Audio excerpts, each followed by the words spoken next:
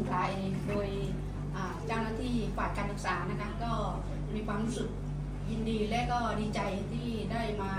ให้ความรู้เล็กๆน้อยๆให้กับน้องๆนะคะอ่าละครับ วันนี้พี่ๆฝ่ายการศึกษาสวนสัตว์สงขลาก็มีโอกาส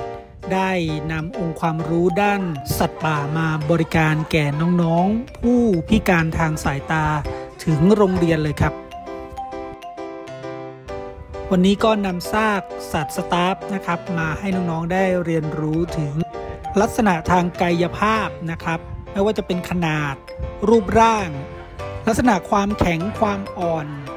ของอวัยวะต่างๆ ของเหล่าบรรดาสัตว์ป่าที่อยู่ในธรรมชาตินะครับ ซึ่งน้องๆกลุ่มนี้นะครับก็มีโอกาสที่จะได้สัมผัส หรือ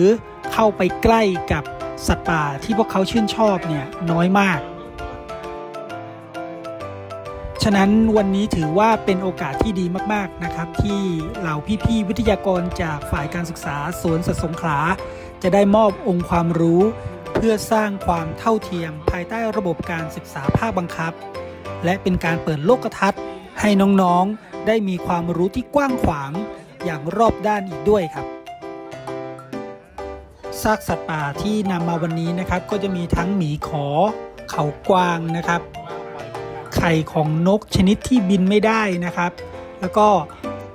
เต่าบกขนาดต่างๆนะครับ ทั้งอยู่ในส่วนที่มีงานวิจัยและไม่ได้อยู่ในงานวิจัยของสวนสัตว์สงขลาด้วยนะครับ วันนี้น้องๆตื่นเต้นและให้ความสนใจกับการสัมผัสกับผิวหนังและลักษณะกายภาพของอ่าเหล่าบรรดาสัตว์ป่าอย่างมากมายเลยทีเดียวครับ เห็นน้องๆตั้งใจกันขนาดนี้นะครับ พี่ๆก็ทุ่มเต็มที่เลยทีเดียว อธิบายลักษณะต่างๆ ให้น้องๆได้จินตนาการอย่างสนุกสนานเลยครับสำหรับวันนี้พี่ๆฝ่ายการศึกษานะครับ ได้เห็นรอยยิ้มที่น้องๆมีความสุขความสนุกสนานเช่นนี้นะครับ ก็ดีใจแล้วล่ะครับ ไม่เพียงความสุขที่เหล่าบรรดาพี่ๆฝ่ายการศึกษา จะมอบให้กับน้องๆนะครับ ได้จินตนาการไปกับเรื่องราวของสัตว์ป่าแล้วนะครับ ตัวน้องๆเองก็มีของขวัญเล็กๆน้อยๆที่จะมอบให้กับเหล่าบรรดาพี่ๆฝ่ายการศึกษาในวันนี้ด้วยครับ เดี๋ยวเราไปฟังกันดูนะครับสวรรค์จงประทานพรแด่ผู้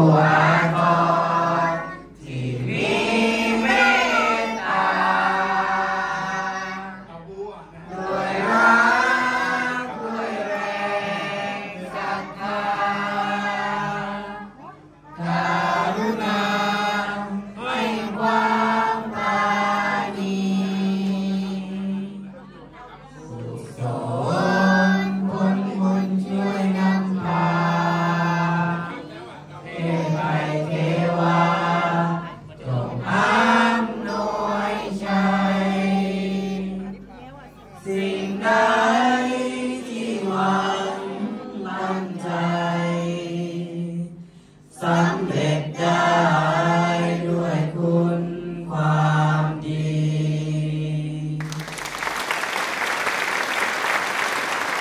การกระตุ้นการเรียนรู้นะครับ แล้วก็หลาย ๆ คนก็อ่ามีความสนใจแล้วก็ตั้งใจนะครับ ก็ถ้าสื่อสตาร์ทในวันนี้อ่าไม่เข้าถึงนะครับ หรือว่าไม่เสมือนจริง เด็กๆ บางคนที่มองไม่เห็นเพียงสัมผัสก็คงไม่ตกใจ แต่วันนี้เขามีตกใจด้วย แล้วก็หลายๆคนได้อ่าสำหรับหลายๆคนเรียนรางก็คือได้เห็น ก็รู้สึกดีใจที่ก็รู้สึกมีความสุขที่พี่เขามาให้ความรู้เกี่ยวกับสัตว์รู้สึกว่าสัตว์แต่ละอย่างที่เขามาจับก็ไม่เคยคิดนะว่าเขาเขากวางกวางอะมันจะแข็งได้ขนาดนั้น ก็รู้สึกตื่นเต้นแล้วก็ดีใจมากที่ได้จับสัตว์ต่างๆ แล้วก็ไข่สัตว์ต่างๆอย่างเนี้ยครับเพราะ ว่าก่อนหน้านี้ก็เคยไปสวนสัตว์สงขลาครับ แต่ว่าได้ยินแค่คำอธิบายอะไรเงี้ยครับว่าเออเป็นลักษณะยังไงอะไรเงี้ยครับ แต่ว่าไม่เคยได้จับโดยเคยได้ยินเขาบอกว่ามันใหญ่อะครับ ก็ไม่คิดว่าเออมันจะใหญ่เท่าเท่าไหนครับ ไม่ต้องคิดตามตามจินตนาการแล้วก็คือได้จับจริงๆแล้วอะไรเงี้ยก็แอบแอบแอบคิดเออพี่เขาเอาไข่เนี่ยเอาข้างในออกได้ไง มันไม่แตกเลยอะไรเงี้ย ก็ไปถามเขาก็เลยรู้ว่าอ๋อเขาใช้วิธีการเจาะคือพี่เขาเก่งมากเลยแตกต่างครับเหมือนแมวก็แต่ขนนุ่มกว่าอย่างเงี้ยครับถ้าเป็นมีขอ ใช่ครับก็จะมีแบบเหมือนสากสากๆกว่าอย่างเงี้ยอ่ามั มันดูแบบแข็งกว่าครับเหมือนไข่นก ก็ไม่เหมือนไข่ไก่ จากแต่ก่อนผมเข้าใจว่าเออไข่มันจะต้องแบบเนียนเนียนๆเหมือนไข่เป็ดไข่ไก่อย่างนี้เสมอ แต่ว่ามันไม่ใช่อะครับ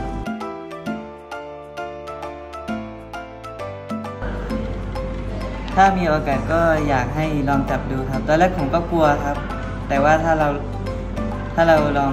ลองเปิดใจดูก็จะรู้ครับว่าเออมันตื่นเต้นแค่ไหนครับถ้าอยากจะฟังเขาก็ขอให้เขาได้